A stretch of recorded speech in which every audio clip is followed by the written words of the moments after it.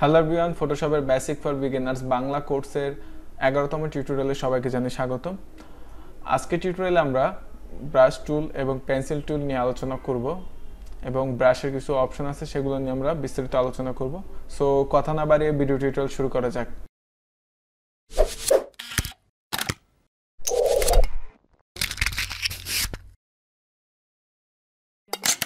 ফিরে এলাম video inter পর, আমি Hasan Imam from doctor creative তো আমরা একটি ডকুমেন্ট ওপেন তৈরি করে নিই।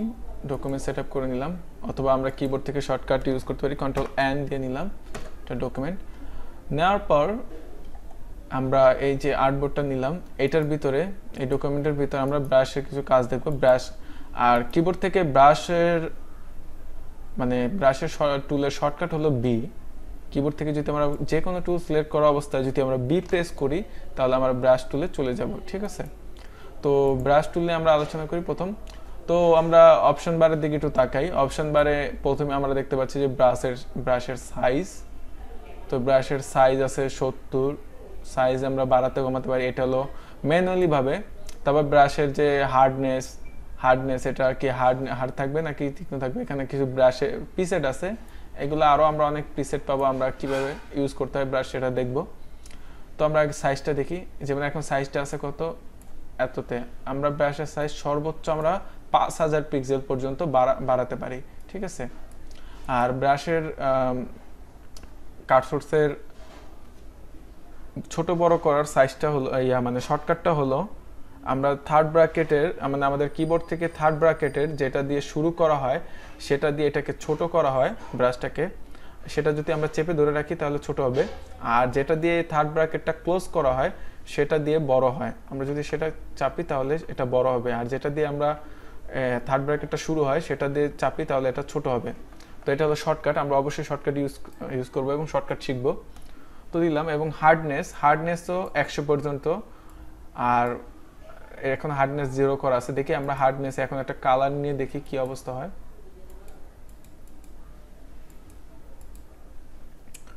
তো আমরা একটা দাগ দিই। এটা হলো হার্ডনেস জিরো করা অবস্থায়, ঠিক আছে? তারপর যদি আমরা হার্ডনেসটা একশো করে দিই, দেখি কি হয়। দেখুন, এটা ছিল হার্ডনেস জিরো করা অবস্থা এবং হার্ডনেস একশো করা অবস্থায়। তো আমরা বুঝতে পারছি যে এই হার্ডনেসের ভিতরে পার্থক্যটা কি?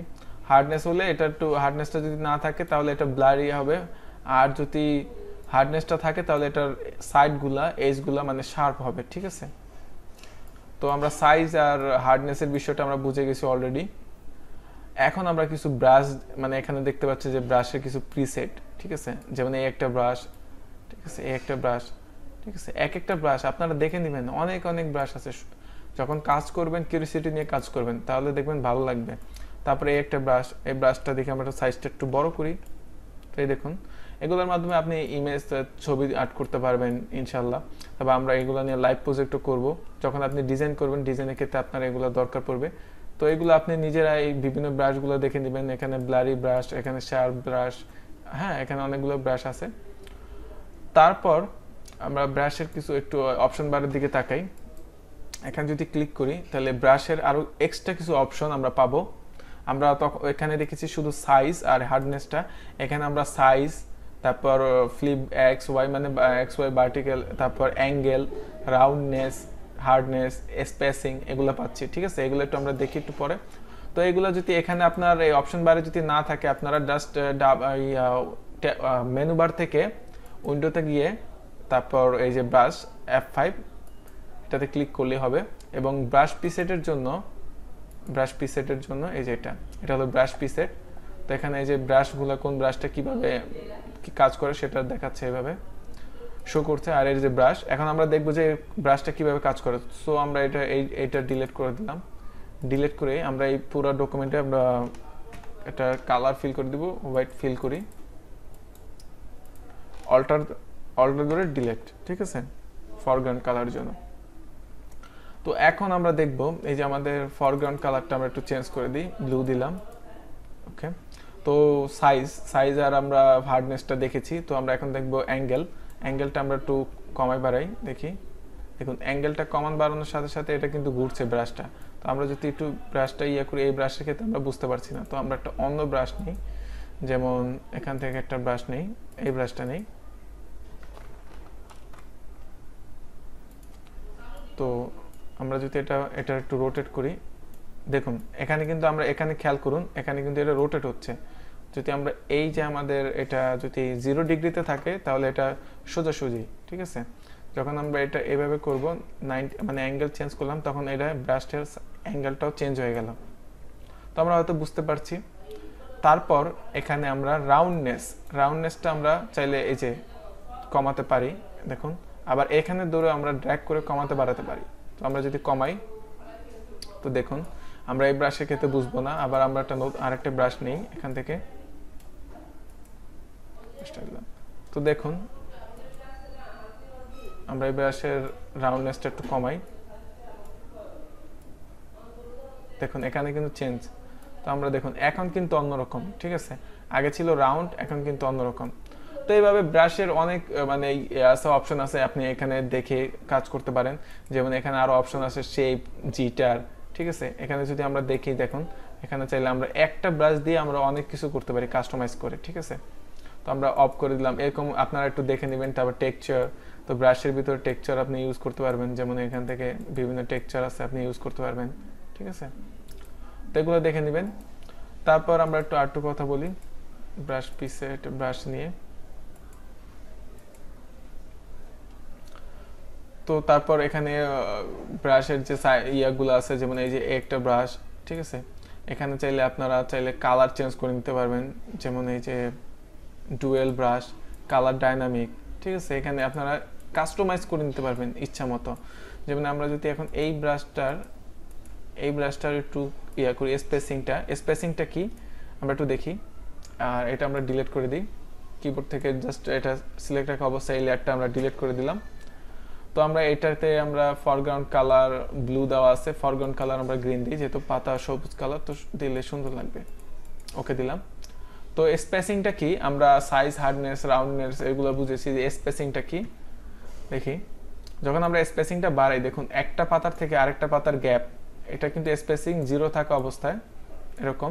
যখন আমরা গ্যাপটা বাড়িয়ে দিব, তখন দেখেন, এই যখন আমরা স্পেসিংটা আরও বাড়িয়ে দেবো, এটার ভিতরে স্পেসিং সর্বোচ্চ এক হাজার পর্যন্ত। যখন বাড়িয়ে দেবো, তখন হলো এই তো আমরা বুঝতে পেরেছি যে এটার কাজটা কীভাবে কী কোনটা কাজ করে। তো এগুলো নিয়ে আমরা একটু কাস্টমাইজ করব এবং নিজের ইচ্ছা মতো একটু চেষ্টা করব। তাহলে দেখবেন যে খুব ইজি লাগবে এবং খুব ইজিলিভাবে কাজটা আপনারা শিখতে পারবেন। ঠিক আছে?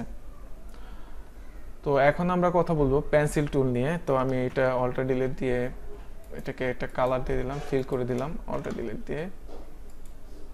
তো পেন্সিলের পেন্সিল কালারটা কি?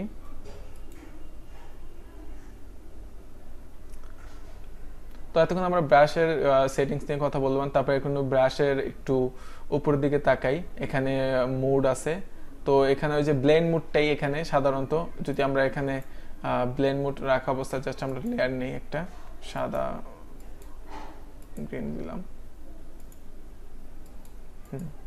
তো এখানে যদি দেই, দেখুন এখানে পাতাটা পড়ছে, এখানে ব্ল্যান্ড মুডটা নিয়ে যদি আমরা চেঞ্জ করে দিই, দেখুন।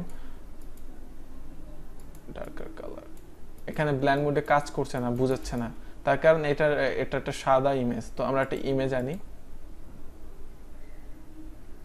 এই ইমেজটাই আনি আমরা। তো এই ইমেজটার উপর আমরা জাস্ট ব্রাশের সাইজটা আমরা ওই যে মাউস ইয়া কিবোর্ড থেকে থার্ড ব্র্যাকেটের ক্লোজ ইন থার্ড ব্র্যাকেটের ক্লোজ করার যে ব্র্যাকেটটা ওইটা দিয়ে আমরা বড় করলাম। হ্যাঁ? আর থার্ড ব্র্যাকেটের যেটা দিয়ে শুরু করা হয় ওটা দিয়ে ছোট করা হয়। এটা শর্টকাট তো আমরা বড় করলাম। দেখুন, এখন কিন্তু অন্যরকম। আবার যদি আমরা কালার বার্ন দেই, দেখুন এক একটা কালারে এক এক রকম। তো এটা হলো ব্লেন্ড মুডে আমরা ব্লেন্ড মুড নিয়ে আরও বিস্তারিত আলোচনা করব। তো আমরা এটা নর্মালি রাখলাম। তো আমরা আগেরটা চলে যাই। এখন আমরা কথা বলব অপেসিটি নিয়ে। অপেসিটি আর ফিল নিয়ে অপাসিটি ফিল ফ্লো একই রকম কাজ করে। তো অপাসিটি একটু কমাই দেখি। দেখুন অপাসিটিটা কমানোর কারণে এত অপাসিটিটা যখন বাড়াবো আস্তে আস্তে, তখন আস্তে আস্তে বাড়বে। তো আমরা বুঝতে পারছি যে অপাসিটি আর লেয়ার অপশনে আমি অপাসিটি আর ফিল নিয়ে কথা বলেছি। আর ফ্লোটা সেম একই রকম ফিলের মতনই কাজ করে। তো আমরা ফি ফ্লোটা কমিয়ে দিই, বাড়াই আস্তে আস্তে। দেখুন, আস্তে আস্তে বাড়ছে। তো এইভাবে আর কি ফিল আর অপোজিট ফ্লোটা কাজ করে। আর তারপর এখন আমরা কথা বলব পেন্সিল টুলটা নিয়ে। পেন্সিল টুলে কি কি আছে? পেন্সিল টুলে সেম একই রকম, এটাতে অপাসিটি আছে। আর পেন্সিল টুলে ব্রাশ আছে কিছু এই যে এক্সট্রা ব্রাশ এই ব্রাশ দিয়ে আমরা কাজ করতে পারি। এটা সাইজটা আমরা যদি বাড়াই ব্রাশ টুলের মতনই। আর পেন্সিল টুলটা যারা আর্ট করে পেন্টিং করে, তাদের জন্য দরকারি। আর যারা ডিজাইন ডিজাইন ওদের ক্ষেত্রে এরকম তেমন একটা দরকার পড়ে না, খুব একটা কম। এটারও হার্ডনেস আমরা চাইলে কমাই দিতে পারি, বাড়াই দিতে পারি। সেম ব্রাশ টুলের মতনই। সো বোঝা গেল ব্যাপারটা। সেম আমরা ব্রাশ টুলে পেন্সিল টুলে আমরা বিভিন্ন এরকম ইয়া ইউজ করতে পারি, দেখুন। একটা ইয়া করার সাথে সাথে কতগুলো পড়তেছে। তো এইভাবে অনেক ডিজাইন আপনি খুব ইজিলিভাবে করতে পারবেন, ঠিক আছে? তো এই ছিল আজকে টিউটোরিয়ালে আর আজকের টিউটোরিয়ালটি যদি বুঝতে কোনো সমস্যা হয়, তাহলে অবশ্যই কমেন্ট বক্সে কমেন্ট করে জানাবেন। এবং এই ভিডিও টিউটোরিয়ালগুলো আপনার বন্ধু বান্ধব যারা শিখতে চাচ্ছে, তাদের সাথে শেয়ার করবেন যাতে তারা শিখতে পারে। এবং অবশ্যই আমার চ্যানেলে সাবস্ক্রাইব করবেন। সো আজকে এই পর্যন্তই। দেখা হবে নেক্সট টিউটোরিয়ালে